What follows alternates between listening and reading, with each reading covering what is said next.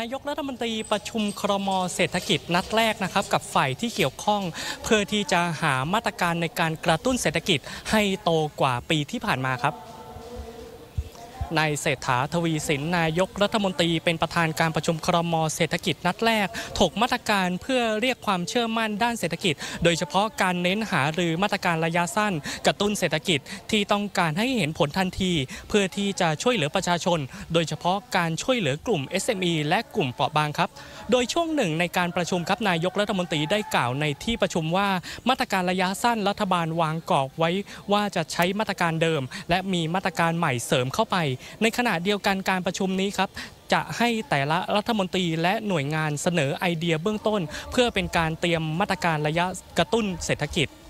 และจากที่ผ่านมาครับแม้ตัวเลขเศรษฐกิจจะทำได้ค่อนข้างดี แต่ภาพรวมนั้นตัวเลขเติบโตทางเศรษฐกิจก็ยังอยู่ในระดับที่โตค่อนข้างน้อย โดยตัวเลขเศรษฐกิจในไตรมาสที่ 1 ปี 2567 ได้รับผลจากภาคการส่งออก และภาคอุตสาหกรรมที่หดตัว รวมทั้งงบประมาณปี 2567 ที่ออกมาล่าช้า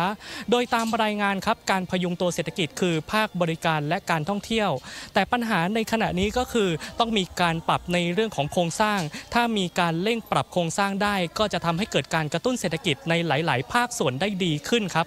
หลังจากการประชุมนั้นก็ใช้เวลาประมาณ 1 ชั่วโมง 30 นาทีครับ ซึ่งขณะนี้นะครับการประชุมก็ได้เสร็จสิ้นแล้ว และนายกรัฐมนตรีก็เพิ่งเดินทางออกจากทำเนียบรัฐบาลไปเมื่อสักครู่นี้นะครับ ส่วนผลการหารือนั้น เดี๋ยวจะมีสรุปให้ทราบอีกครั้งครับ แต่การถแถลงข่าวในเบื้องต้นนั้น เป็นนายพิชัยชุนหะวชิระ รัฐมนตรีว่าการกระทรวงการคลังครับ และก็เป็นที่น่าสังเกตครับในการประชุมครมเศรษฐกิจนัดนี้ มีผู้ว่าการธนาคารแห่งประเทศไทยเข้าร่วมประชุมด้วยครับ ช่วงนี้กลับไปทางสถานีครับ